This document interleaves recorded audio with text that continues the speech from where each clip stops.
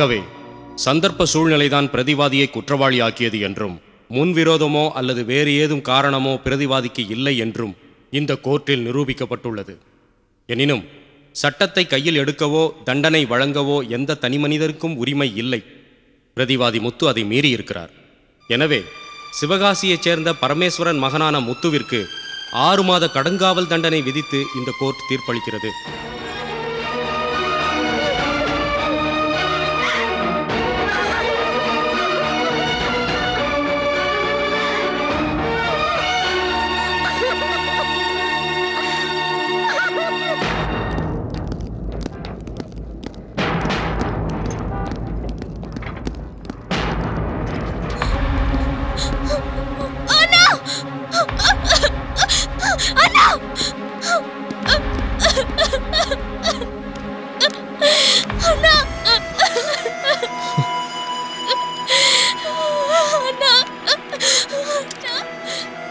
சீக்கிரம் திரும்பி வந்துடும்டா ஆறு மாசம் தானே?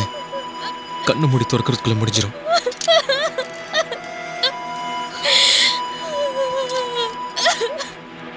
நான் போயிட்டு வரேன்டா. மீனவ பத்திரமா பார்த்துக்க.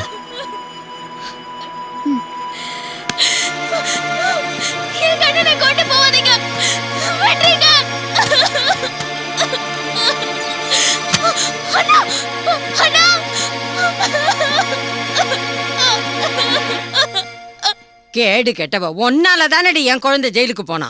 என்னமோ நமக்கு கிடைச்சது இவ்வளவு தானே இருந்தா இப்படி எல்லாம் நடந்திருக்குமா? ஒண்ணும் தெரியாத பாப்பா அவ போட்டுக்கிட்டாலும் தாப்பா. போய் மயக்கிடி. பண்ணாட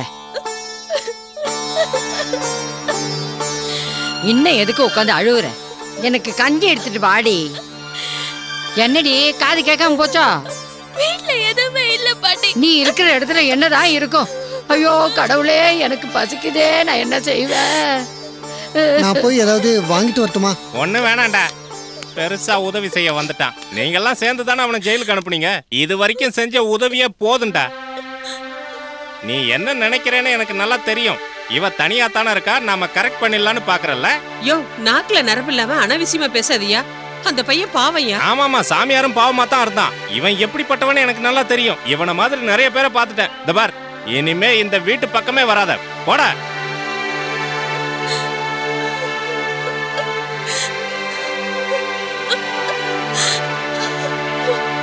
என்னடி அது? அம்மாவுக்கு சாப்பாடு எடுத்துட்டு போறேன். ஆ என்கிட்ட கொடு. நானே கொடுத்துட்றேன். எல்லாருக்கும் உதவி செய்யறது தான் என் வேலை. அம்மா! வா மீனா. வீட்ல போய் ஏதாவது சாப்பிடலாம். எனக்கு வேண்டாம். என்ன மீனா இது? இப்படி எதுவும் சாப்பிடாம இருந்தா? எங்க அண்ணன். அங்க எதுவுமே சாப்பிடாம இருக்கும். அதுக்காக எவ்வளவு நேரம் சாப்பிடாம இருப்ப? வாமா நான் கூப்பிடுறேன்ல. வாமா.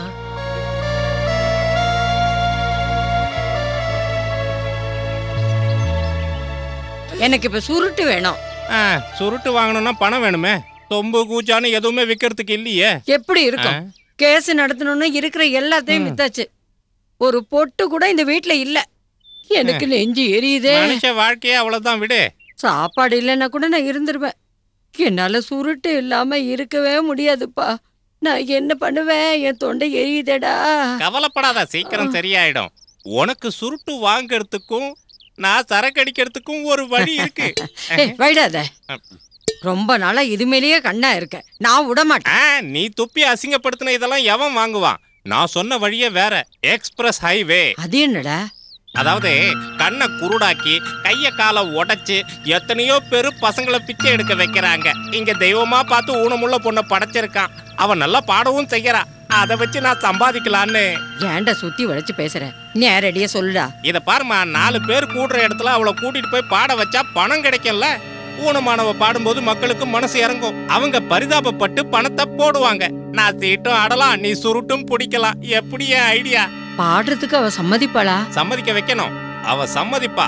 அதுக்கான வழியை நான் கண்டுபிடிச்சிட்டேனே.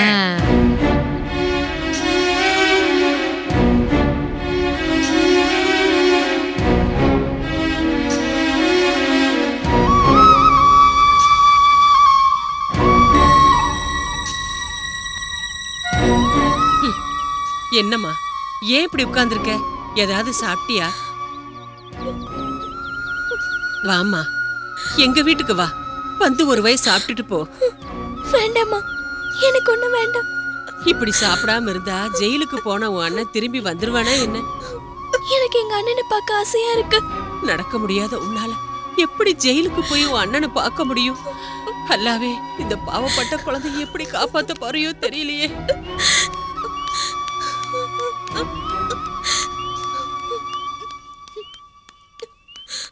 மோசம் போயிட்டோம்மா. நம்ம பையனை அவனுங்க கொன்னுட போறானுங்க. முத்துவத்தான் வேற யார? துரோகிங்க. பணம் இல்லாதவனை புடிச்சு பணம் கொடுன்னு படுத்திக்கிட்டு இருக்கானுங்க. யாரு மாமா? ஜெயில்ல போலீஸ்காரங்க. அவனுங்க ஒவ்வொரு விஷயத்துக்கும் பணம் கேக்குறானுங்க. கொடுக்கலன்னா ஜெயில்ல இருக்கிறவன நாய் அடிக்கிற மாதிரி அடிக்கிறாங்கம்மா. அடிக்காம இருக்கணும்னா ஒவ்வொருத்தருக்கும் இருநூத்தம்பது ரூபா கொடுக்கணுமா மனசாட்சியே இல்லாதவனுங்க. அங்க இருந்து திரும்பி வரும்போது முத்து எப்படி வரப்போறானோன்னு எனக்கு பயமா இருக்குமா? எனக்கு உடனே எங்க அண்ணனை பார்க்கணும். அவனை நீ பாக்குறதுக்கு முன்னாடி அவன் உயிரோட இருக்கணும்னா நாம பணத்தை கொடுத்தே ஆகணும். பணம் எதுவும் இல்லையே. அது நீ மனசு வச்சா முடியும். நானா? என்னால எப்படி முடியும்? அதுக்கான வழியை நான் உனக்கு சொல்றேன். நீ கேப்பியா? நீ அதுக்காக வேற ஒண்ணும் பண்ண வேண்டாம். உனக்கு நல்ல பாட தெரியும்ல. நீ ஒரு பாட்டு பாடினா போதும். பணம் தன்னால வரும். என்னடா? ஆமா ஆமா. உன் அண்ணனுக்காக நீ பாட்டு பாட மாட்டியா? பாடினா காசு கிடைக்குமா? பணம் கண்டிப்பா கிடைக்கும். அத முத்துவுக்காக கொண்டு போய் கொடுப்பேன். அப்போதான் அவனை போலீஸ்காரங்க அடிக்க மாட்டாங்க. நான் பாடுறேன் மாமா. சகோதர சகோதரிகளே எழுந்து நிக்கவோ நடக்கவோ முடியாத ஒரு பொண்ணு எப்படியோ கஷ்டப்பட்டு இங்க வந்து உங்க முன்னாடி இப்ப பாட போறா. ஒரு ஜான் வயித்துக்காக அவ பாட போற பாட்டை கேட்டு நீங்கெல்லாம் பெரிய மனசு பண்ணி உங்ககிட்ட இருக்கிற காசை கொடுக்கணும்னு வேண்டி கேட்டுக்கிறேன். பாடுமா. இது உனக்கு. மீனா? என்ன காரியல பண்ணிட்ட என்ன உன்ன அவங்க ரொம்ப அடிச்சிட்டாங்களா? என்ன ஏன் அடிக்கலடா? என் தங்கச்சி பாக்குறதுக்காக ஆசாசி ஓடி வந்தடா உன்னை அடிக்காம இருக்கணும்னா போலீஸ்க்கு காசு கொடுக்கணும்னு மாமா சொன்னாங்க. அதான் பாடினேன் அந்த துரோகி அப்படி சொல்லி உன்னை ஏமாத்திருக்கான்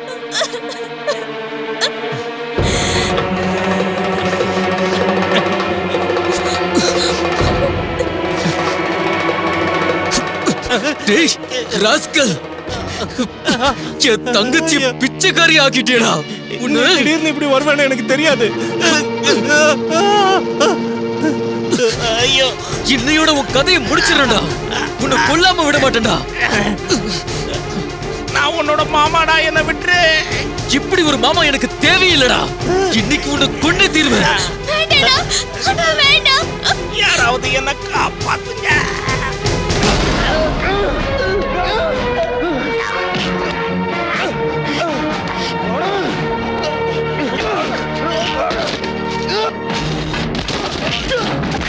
Huh?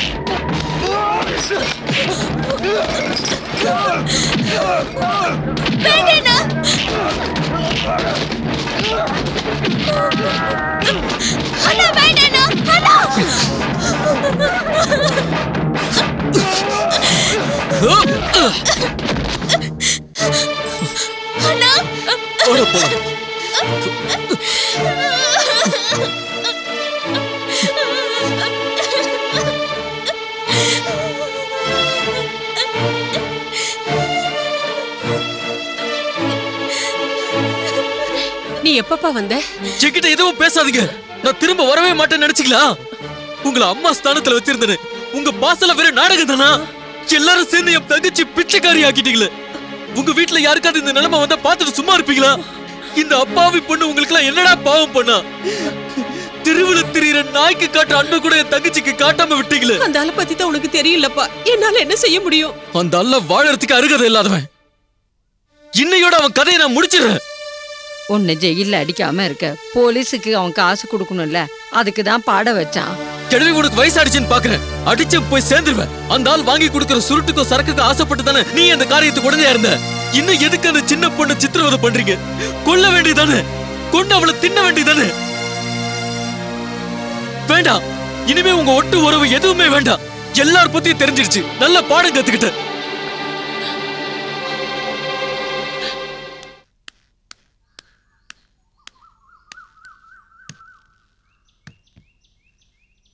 நான் முதலாளி வீட்டு வரைக்கும் போயிருந்தேன். வீட்டுக்கு வந்தப்போ தான் அம்மா சொன்னாங்க நீ வந்திருக்கேன்னு. உனக்கு எப்படி சமாதானம் சொல்றதுன்னு எனக்கு தெரியல. உன்னை நம்பி தானடா என் தங்கச்சி விட்டுட்டு போனேன். நான் என்னடா பண்றது? அந்த சுஷில் என்னை வீட்டு பக்கமே வரக்கூடாதுன்னு சொல்லிட்டான். அயோக்கியனா இருந்தாலும் அவன் உனக்கு தாய் மாமன்ற உரிமை இருக்கு. எனக்கு என்ன உரிமை இருக்கு? இது எல்லாத்துக்கும் அவன் அனுபவிப்பான். நான் வர வழியில நம்ம அஸ்வதியை பார்த்தேன். அவன் உன்னை பார்க்கணும்னு ரொம்ப துடிச்சிட்டு இருக்கான் வேணாம். நான் யாரையும் பார்க்க விரும்பல. ஏன்டா முத்து? என்னை நம்பி என் கூட வந்து அவ வாழ்க்கையும் வீணா போயிட போகுது.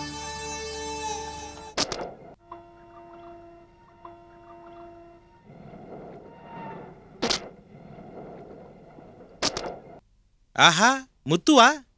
வாடா உள்ள உட்காரு இல்லத்தரகரை ராத்திரி ஆயிடுச்சு. நான் உடனே கிளம்பி ஆகணும் அங்க வரணும்னு நினைச்சேன். ஆனா நேரம் கிடைக்கல. உள்ள உன்னை ரொம்ப அடிச்சிட்டாங்களா? அவங்களுக்கு நல்ல சான்ஸ் கிடைச்சது. நல்லா யூஸ் பண்ணிக்கிட்டாங்க. தலைக்கு வந்தது தலப்பாவோட போச்சுன்னு நினைச்சுக்க. ஆமா என்ன இந்த நேரத்துல? எதுக்காக உங்களை பார்க்க வந்திருக்குன்னு நான் சொல்லி தான் தெரியணுமா என்ன? இனிமே என்னடா பண்றது? எல்லாம் விதின்னு விட்டுற வேண்டியதான் முதல்ல ஊனமான பொண்ணு. இப்ப பேரும் கெட்டு போச்சே. கெட்ட பேரா? ஆமா. உன் மாமன் தான் இதெல்லாத்தையும் சொல்லிட்டு இருக்கான். அந்த சாமியார் கெடுத்துட்டானோ அதனால நீ வெட்டிட்டு ஜெயிலுக்கு போயிட்டான்னு சொல்லிட்டு இருக்கான். நீ கவலைப்படாத முத்து. நான் முயற்சி பண்ணி பார்க்கறேன் நீங்க தான் எப்படியாவது இந்த கல்யாணத்தை நடத்தி வைக்கணும். ராஜேந்திரன் கல்யாணம் நடக்கிறதுக்கு முன்னாடி இந்த கல்யாணம் நடக்கணும். இது எல்லாமே உங்க கையில தான் இருக்கு. இந்த மாதிரி பொண்ணுங்களை கல்யாணம் பண்ண முன் வர்றவங்க ரொம்ப கம்மிப்பா. அன்னைக்கு ஒரு பையன் வந்தானே அவன் பேர் என்ன? ஆ தினேஷ். அவன் நிச்சயமா கல்யாணம் பண்ணிக்குவான். அவன் என்கிட்ட சொன்னா மீனாவை கட்டிக்க இஷ்டம்னு. ஆனா அவங்க பணம் அதிகமா கேட்டாங்களே. பார்க்கலாம் நாமளும் முடிஞ்ச வரைக்கும் போராடி பார்க்கலாம் இதை வச்சுக்கோங்க. வேண்டாம் முத்து. எனக்கு பணம் எதுவும் வேண்டாம். நீ நிம்மதியா போ. எல்லாத்தையும் அந்த ஆண்டவன் பார்த்துக்குவான்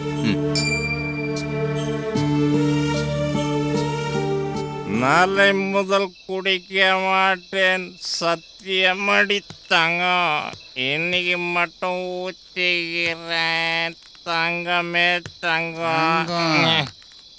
நான் ரொம்ப அதிர்ஷ்டக்காரன்டா. அவளை பாட்டு பாட வச்சு நான் பணத்தை சம்பாதிச்சிட்டேன் பார்த்தீங்களா ஆனால் அவன் ஜெயிலிருந்து இருந்து திடீர்னு இப்படி வந்து நிற்பான்னு நான் கனவுல கூட நினைக்கல. டே குமார் என்ன? கொஞ்ச நாளைக்கு நான் எங்கேயாவது தலைமறைவா இருக்கிறேன்டா. ஏன்? இல்லைன்னா அவன் என்ன கொன்னாலும் கொன்னுடுவான். அதுவும் நல்லதுக்கு தான் ம். நீ உன் வீட்டுக்கு போனீன்னா அவன் திரும்பவும் ஜெயிலுக்கு போயிடுவான். அது எப்பறம் நான் வீட்டில் இருந்தா அவன் ஜெயிலுக்கு போவான்? ஒன்ன கொண்டுட்டு.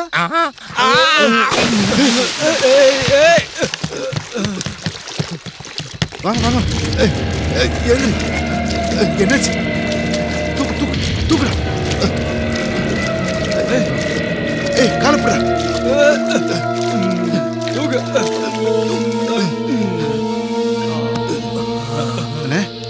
அண்ணே ஏந்திரண்ணே என்னடா மூச்சு பேச்சு இல்ல? போத தலைகேறிருச்சு. வேற ஒண்ணுல எத்தனை வார்டுல சார சுசிலண்ணா ஏய் தலையில ரத்தம் வருதுடா. சீக்கிரம் ஆஸ்பத்திரி கொண்டு போவோம். சுசிலண்ணா சுசிலண்ணா. உன்னை இந்த சூளையில வேலைக்கு சேர்க்கக்கூடாதுன்னு என்கிட்ட பல பேர் சொன்னாங்க. நீ கிரிமினலு ஜெயிலுக்கு போனவன் எல்லாத்தையும் நான் அதோ இந்த காதுல வாங்கி இந்த காதுல விட்டேன். எதுக்காக? எனக்கு உன்னை ரொம்ப பிடிக்கும். அன்னைக்கு அந்த சம்பவத்துக்கு அப்புறம். அந்த சாமியார் பார்கவனோட கையை நீ வெட்டினியே அதை இந்த தமிழ்நாடு ஃபுல்லா பேசிக்கிட்டு இருக்காங்கல்ல? ஏதோ ஒரு கோவத்துல நான் அப்படி பண்ணிட்டேன். ஜெயிலுக்கு போயிட்டு வந்தாலும் எனக்கு வேலை கொடுத்துருக்கீங்களே. ரொம்ப நன்றி. பொறாம பிடிச்ச சில புறம்போக்கு நாயங்க என்னையும் குறி வச்சிருக்கானுங்க. கையெல்லாம் வெட்ட வேண்டாம். சும்மா ரெண்டு தட்டு தட்டுனா போதும். ம் அப்படி வாங்க விஷயத்துக்கு. அவ்வளவு அக்கறை இருந்திருந்தா இவன் ஜெயில இருக்கும்போது காசு வேணும்னு கேட்டேனே அப்ப கொடுத்துருக்கலாம்ல? அது அது அவன் கேட்கலையே நீ தானே கேட்ட. இல்ல முத்து இவனை நம்பி நான் எப்படி காசு கொடுக்கறது? இவன் அந்த காசை கொண்டு வந்து அங்க கொடுப்பான்னு எனக்கு எப்படி தெரியும்? அப்ப இல்ல நூறு ரூபாய்க்காக நான் அப்படி செய்வேனா? செய்யவே மாட்டேன். செய்யலையே. டேய் வேலையை பாரா குரங்கு.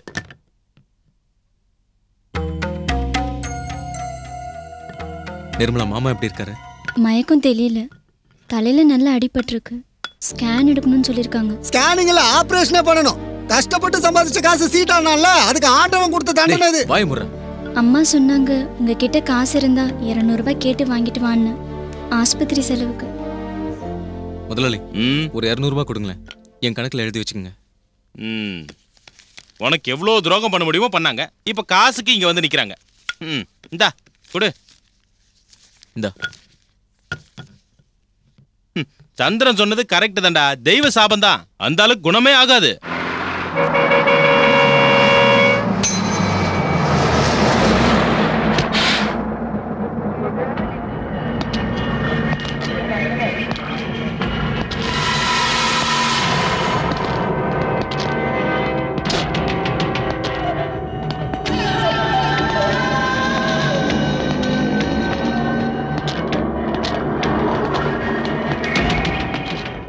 முத்து வீட்ல இருக்கானா? முத்து? டேய் சந்திரா முத்து வீட்ல இருக்கானா? ஐயோ எனக்கு தெரியாது. எனக்கு எப்படி தெரியும்? முத்து சூளையில வேலை செஞ்சுட்டு இருக்கான் இன்னைக்கு தான் எனக்கு ஜெயில இருந்து வெளியே வர ஜாமீன் கிடைச்சது. நேரா இங்க தான் வரேன் காரணம் ஒரு நிமிஷம் கூட அவனை உயிரோட விட்டு வைக்கிறதுல எனக்கு இஷ்டம் இல்லை. நான் இங்க இருந்து திரும்பி போகும்போது கூடுதலா ஒரு கொலைகேசி என் மேல வரும்.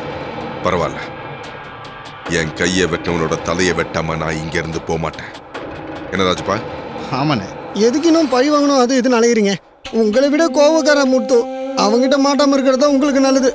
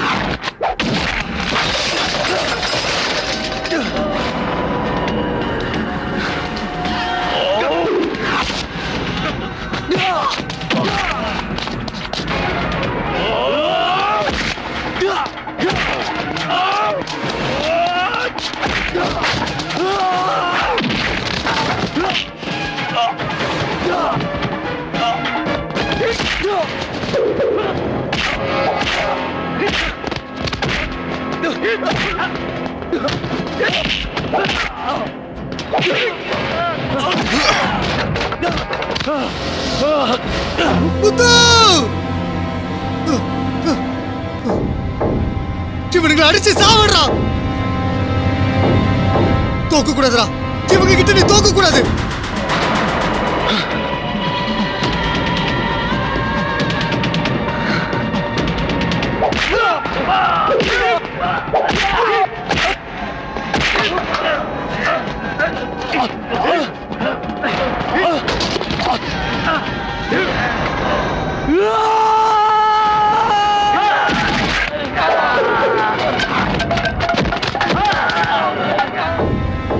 அட்ரா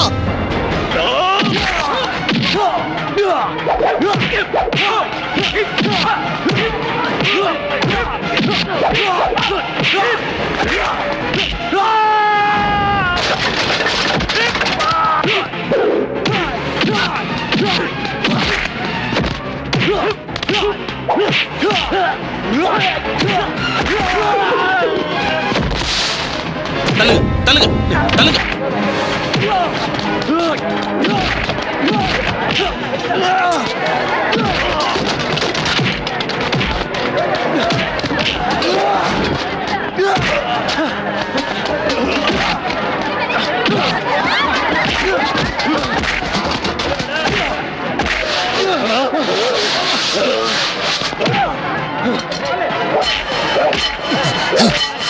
ஏய்! முத்து வேண்டாம். இவனை கொண்டுட்டு திருப்பி ஜெயிலுக்கு போறியா? விடுங்க உன் தங்கச்சியை பத்தி யோசிச்சு பாரு. வேண்டாம் முத்து இவன் பழிச்சு போகட்டும். வா.